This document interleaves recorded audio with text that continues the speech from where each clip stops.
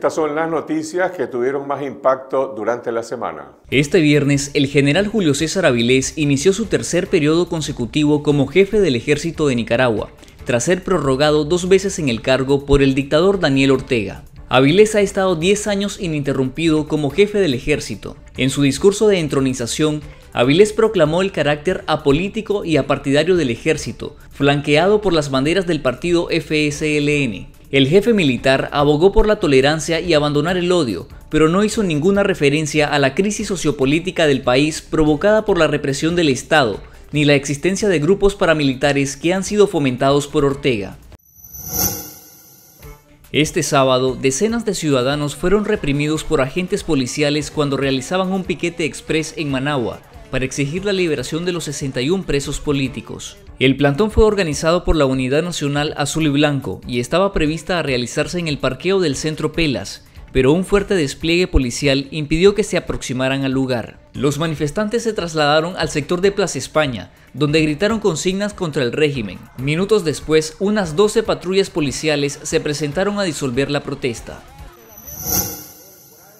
El comentarista político Jaime Arellano y el empresario Lolo Blandino convocaron para el próximo martes 25 de febrero una marcha en demanda de la liberación de los más de 60 reos políticos y la unidad de todos los sectores de la oposición. Después que anunciaron la marcha, la policía desplegó un cerco, asediando las viviendas de Blandino y Arellano, imponiéndoles arbitrariamente casa por cárcel. La policía se puso, bloqueó eh, la salida del garaje y sencillamente me dijeron de que no podía salir que me tenía que, no, no, me dejaban salir de la casa.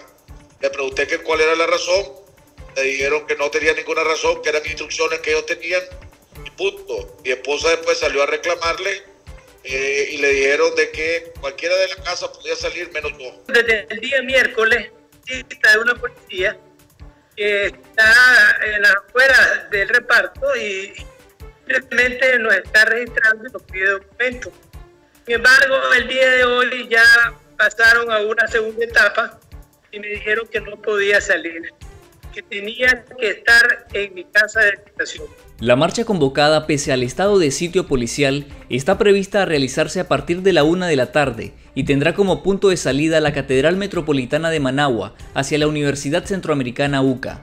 Este fin de semana la policía arreció el despliegue en distintos puntos de la ciudad y el asedio contra viviendas de opositores. En Europa, el eurodiputado español José Ramón Bauzá exigió a los Estados miembros del Parlamento Europeo implementar sanciones en contra del régimen de Daniel Ortega y Rosario Murillo. En una carta dirigida a los estados y al presidente de la Eurocámara, Bauzá recordó las tres resoluciones del Europarlamento condenando la represión en Nicaragua. El diputado se lamentó de que Estados Unidos haya emitido sanciones, mientras Europa debate todavía a quién incluir en la lista de sancionados. Siempre en Europa, el gobierno de Estados Unidos cabildea con sus socios de la Unión Europea para que impongan sanciones contra la dictadura orteguista, tal y como ellos lo han hecho. El subsecretario de Estado adjunto para Centroamérica de Estados Unidos, Hugo Rodríguez, reveló que definen con la Unión Europea una estrategia para presionar al régimen en Nicaragua. Estados Unidos ha sancionado a cinco entidades y 15 altos funcionarios, incluidos miembros del círculo íntimo de Daniel Ortega y Rosario Murillo.